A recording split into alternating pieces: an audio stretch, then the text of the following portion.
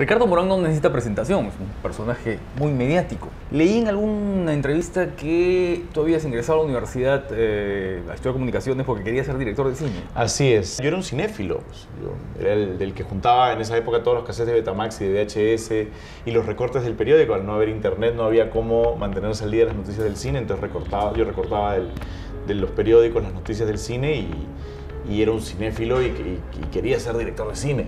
Estaba muy emocionado con esa idea y entré a la universidad para eso y la, la vida me terminó llevando por otros lados. ¿no? Nunca, nunca terminé dirigiendo, pero ni un cortometraje, nada. Pero el ingreso al teatro eh, tuvo alguna relación con ese gusto por el cine, supongo, o cómo entró. ¿Cómo- Bueno, cómo- por la- el, el interés en, en contar historias creo que es algo que nos mueve mucho a todos, ¿no? Es- la razón por la que yo termino entrando al teatro es porque yo decido estudiar actuación como una, una cosa para hacer en el verano, digamos, ¿no? Había terminado un ciclo de la universidad, no iba a tomar clases en el verano, entré a estudiar actuación en el taller Roberto Ángeles y terminó resultando un compromiso de todo un año, cosa que, con la que no había contado en un inicio. Y cuando terminé el taller y habiendo ya actuado en, en varios montajes dentro del proceso eh, de- de- del taller, de ser alumno, en mi evaluación final Roberto me dice que bueno, que él no consideraba que yo, que yo era un buen actor, que no creía que pudiera yo llegar a ser un buen actor, pero que me veía cualidades para la dirección de teatro. Y eh, inmediatamente sufrí una tremenda desilusión, pero inmediatamente enganché con el proceso de, de trabajar con él en producción de obras y un año y medio después terminé dirigiendo una obra de teatro y me enamoré del teatro perdidamente y no he parado, ¿no? De hecho, han pasado 21 Veintitantos años, años, desde eso y estoy, este, estoy dirigiendo teatro en este momento, ¿no? ¿Ese, ¿Ese gusto por la cinefilia de alguna manera se vincula? O sea, ¿te influye eh, cuando tú diriges, concibes la obra, la vas a poner en escena, diriges a los actores? Creo, creo que en, un, en, un, en un aspecto se parece mucho y en otro no se parece nada. De la forma que yo lo entiendo, porque también no tengo experiencia como director de cine, aún. Y es que eh, en las ganas de contar la historia, eh, en el interés en la dramaturgia y cómo los personajes se develan en la dirección de actores, creo que hay muchos puntos en común a pesar de la diferencia de estilos. En el medio, creo que son muy diferentes, ¿no? Y creo que lo que hace un director de cine a través del lenguaje cinematográfico, eh, con colaboración con el director cinematográfico, el director fotográfico, eh, con los planos, con la edición, eh, lo separa del trabajo que hacemos en teatro, que es crear una cosa viva y repetible que establezca un vínculo con la audiencia presente en ese momento. Que, es un fenómeno muy diferente. Yo creo que el trabajo del director de teatro, curiosamente, es un poco más ingrato que el del director de cine porque el director de teatro tiene una relación con los actores muy reciente, de los últimos 100 años, y en la cual una vez que ya pusiste todo de tu parte, dejas y ya no tienes mucho control. La obra y los actores y el público se convierten en un animal vivo que noche a noche va evolucionando. Creo que el director de cine, una vez que trabajó con los actores, todavía tiene un largo proceso de creación en la sala de edición, eh, con el compositor, con el, el que ve la masterización del sonido de la película, etcétera, que le permite seguir creando una vez que dejó de relacionarse con los actores. El director de teatro, tú das todo de tu parte y en un momento sale de tus manos. Y el actor establece una relación con el público en la cual tú puedes no estar presente siquiera. Entonces creo que allí es como dar, tener un hijo y soltarlo al mundo.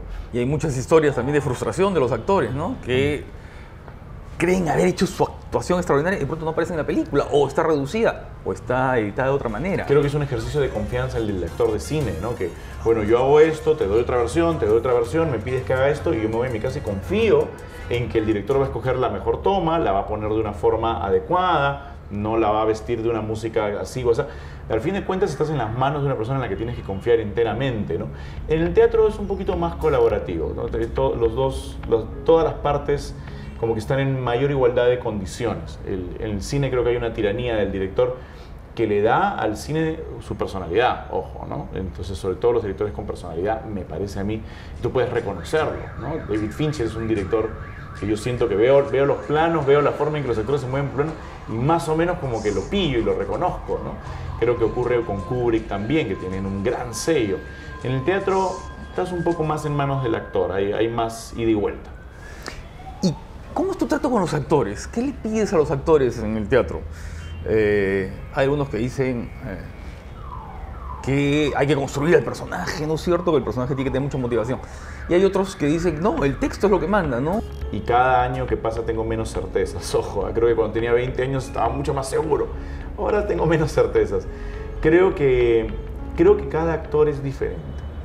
Y que cada actor y cada texto requiere que el director eh, tenga mucha escucha y se ponga a, escuchar lo que el texto y lo que al actor le conviene. Hay actores que construyen. Entonces, si tú llamas a un actor que construye, pones a un actor que construye, sabes a lo que te tienes. El primer día va a estar muy mal, el segundo día va a aparecer un elemento, el siguiente día va, y cada día va a ir creciendo un poquito si las, eh, condiciones son las adecuadas.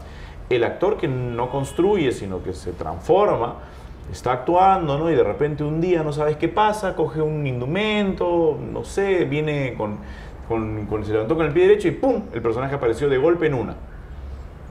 Hay que saber quién es quién, ¿no? Y a quién le sirve qué. Hay actores a los que les sirve que les hables mucho, que analizan mucho, que todo el tiempo están tomando notas. Eh, hay actores a los cuales eso no les sirve para nada, ¿no? Entonces, este... Eh, creo, creo, que cada creo que un, una, la tarea de un director o en todo caso la tarea que, que, que, a mí me gusta hacer es estar en ese proceso de, de detectar y ponerme al servicio porque si no tendría que ser la del director dictador. No, miren, mi método de trabajo es este. Se aprende la letra, viene el primer día con su análisis en 16 páginas y en base a eso trabajamos. No, no puedes hacer eso. No te sientas, los haces leer y empiezas a pillar por dónde va cada uno. Por eso veces mucha gente se queja de que los directores tendemos a trabajar con los mismos actores una y otra vez. Y es porque encontramos empatía con uno y sabemos cómo funciona y sabemos qué podemos hacer para ayudarlo y ya empezar esa relación de nuevo con otro actor eh, toma tiempo, creo que las relaciones se construyen, ¿no? Entonces por eso algunos directores creo que trabajamos siempre con actores, con los mismos actores una y otra vez, porque establecimos ese vínculo y sabemos cómo podemos ayudarlo a hacer mejor su personaje. Ahora, pero no solamente es la relación con el actor, ¿no? ¿Cómo en el proceso de puesta en escena, ¿no? Mm. ¿Qué es lo que viene primero para ti? ¿Qué es lo que te, te ¿no? ¿Es eh, un espacio? ¿Y cómo están los actores repartidos en el espacio? ¿Cómo están los objetos repartidos en el espacio? ¿O es el, el texto mismo? Este, creo que es, eh, lo que te voy a decir es la pesadilla de todos los productores, ¿no? sobre todo porque ahora la producción de teatro en los últimos 10, 15 años se ha profesionalizado mucho más en el Perú. Entonces existen de estos productores que quieren llegar a la primera lectura con su diseño de escenografía, con su diseño de programa de mano, con su diseñador de luces, con los vestuarios para que cada actor vea cómo se va a vestir. Y yo, si bien me presto a ese proceso, yo soy todo lo contrario a eso. Me gusta coger la obra, leerla mucho, si es posible leerla con los actores, si es posible empezar a montarla y recién allí tomar decisiones. Creo yo que cuando diseñas algo desde antes, te estás cerrando a miles de posibilidades que pueden surgir del ejercicio mismo de hacer la obra. ¿Cómo hacer la escenografía? Bueno, hagamos la obra para ver cómo hacer la escenografía. Es mi caso. Es una pesadilla, hace que todo esté tarde. Yo soy el que entrega último su texto del programa de mano, el que se demora más en aprobar la escenografía, el último que decide, porque quiero ver la obra para saber cómo van a ser las cosas que necesitamos, lo que el actor va trabajando en el escenario y lo que pide, lo que pide el texto, por decirlo de alguna forma, lo que pide el, el actor. Y eso es una pesadilla, es una pesadilla para el presupuesto, es una pesadilla para todo el mundo. ¿Qué es lo que necesitas? Bueno, lo que la obra pida. ¿Cómo sabes lo que la obra pide? Haciéndola.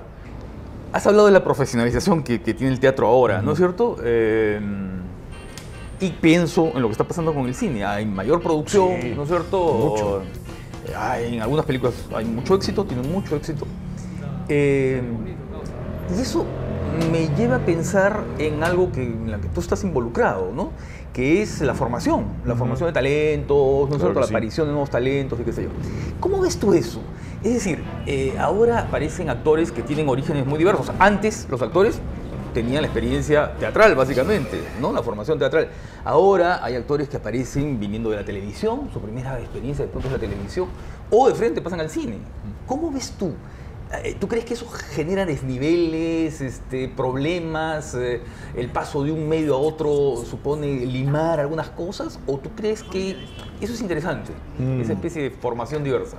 Yo creo que es interesante. Yo creo que venimos de una época en la que había, había muchísimos prejuicios. Yo he sido formado en, en, el teatro en los 90 y habiendo sido público de teatro en los 80 y, y, he formado parte del mundillo teatral que siempre ha mirado con muchísimo prejuicio al actor de televisión o al que no llevó ninguna formación y de repente entra una novela y se vuelve popular y a raíz de su popularidad trabaja mucho y, siempre eso ha sido visto con mucho prejuicio y con mucho recelo. Creo que estamos en otra época ahora.